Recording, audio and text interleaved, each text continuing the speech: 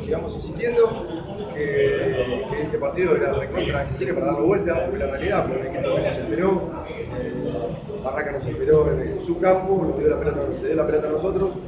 Eh, pasa que bueno, había poco espacio para, para triangular en la definición de, en la definición de la jugada, pero, pero fue todo de, bueno, teníamos que ser un poquito más picante, que lo que buscamos, siendo el tiempo le dijimos que, que sigamos insistiendo.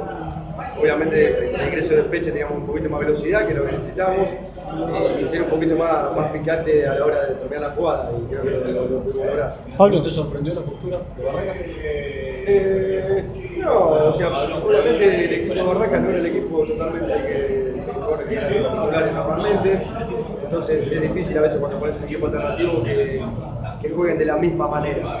Este, después en el segundo tiempo, bueno, metieron a su goleador, que teníamos que, tomar recaudos, pero eh, la verdad no, no nos preocuparon. Eh, tenían un punta muy peligroso por la derecha, muy rápido, este, el nueve de ellos también las corría todas, este, pero sabemos que en defensa eran débiles, entonces apuntamos a, a hacer las cosas más simples, más sencillas, que eso fue lo que dijimos en este tiempo, directamente a los papeles, digamos, de, empezar a buscar a los centrales de ellos, a los dos nueve nuestros, tanto a Milton como a Gaby, este, para, para eh, nosotros tenemos muchísimas situaciones de gol para, que, para que generamos tres y, hacemos dos.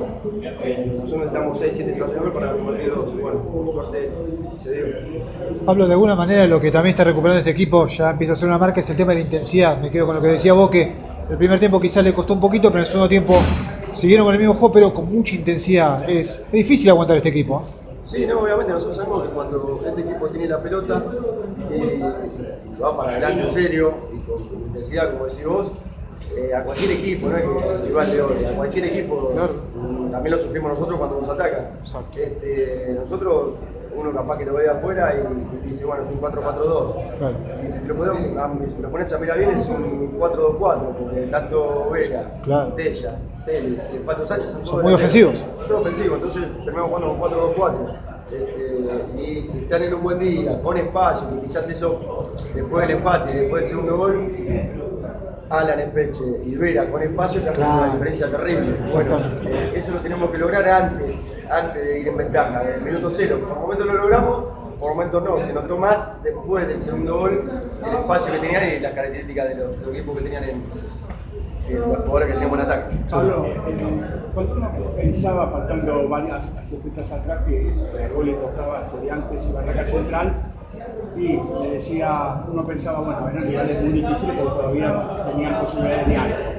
Ahora los enfrentantes casi sin posibilidades de ninguno de los dos. ¿Eso era mejor, es peor? Yo soy el que piensa de que cuando te pones un equipo alternativo es, peor. Por ejemplo, hoy. Para nosotros, yo la verdad no, estaba convencido, no, no- me gustaba que ponga un equipo alternativo, porque yo me pongo en el lugar también de, de- de técnico del otro equipo y yo, bueno, conozco. Conozco a mis jugadores y yo sé que quizás los que hoy están de suplente por el equipo alternativo, eh, si quieren mostrar, se van a jugar la vida, si quieren ganar el puesto y pueden dar un plus todavía.